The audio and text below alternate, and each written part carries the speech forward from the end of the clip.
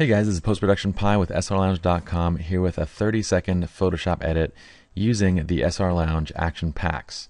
Now, for this tutorial, we're going to be using strictly the base vintage pack, but throughout this series, we're going to basically be teaching you guys how to take the SLR Lounge Action Packs and combine them into what we call mixology, basically creating recipes out of these different actions.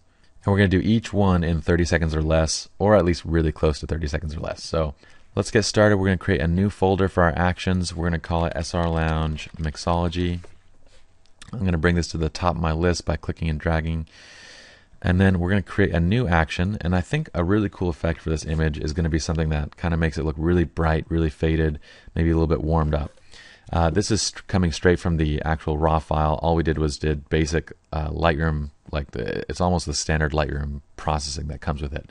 So we're just bringing it straight into Photoshop. And uh, let's call this Whimsically Bright for our name. We'll hit record and let's get started. I'm going to hit the start on my cool timer over here to give us 30 seconds and let's go. So first thing I'm going to do is I'm going to add a desaturated cross bright wash. We're going to then add a, I think I want to do a little bit of warming, a little bit of a contrast boost, and a little bit more brightening. And I'm going to lower that to about 20%. And that is great right there. I'm going to hit stop my action and we're going to hit stop our clock. We have three seconds left. Pretty awesome. Now the last thing I like to do with every one of my actions is to take all of my layer effects and put them into one single grouping just to keep everything really nicely organized. So the last step was to set the current layer which was brighten to 20%. So both brighten and this set current layer should be selected. Now what we're going to do is go down to the record button. We're going to start recording again to add on this final step. So now our recording button is highlighted. I'm going to move my cool timer up a little bit because we need to see this uh, bar over here. Actually, I'll just move this out of the way.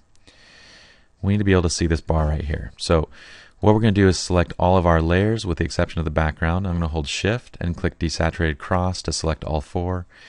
While holding down the alt key or option on a Mac, you're going to click and drag all of these onto this new group button.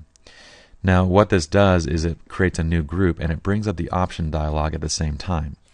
We're going to type in whimsically bright. We don't need to change the color or the mode and we're going to leave opacity at 100%.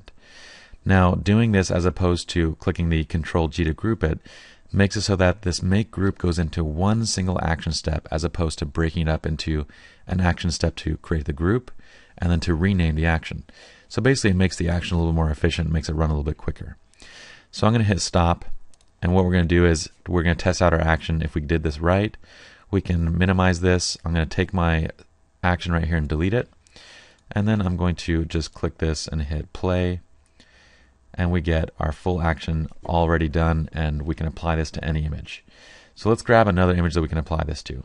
Here's another image of the same couple from the same session. We're going to apply our whimsically bright action step and let's see what we get. So we can see our mixology action is working perfectly and uh, we have this nice warm faded bright look to this image and uh, I'm really happy with the way it turned out. So that's it for the whimsically bright action guys. Hope you guys enjoyed this tutorial and we'll see you with the next 30 second Photoshop edit.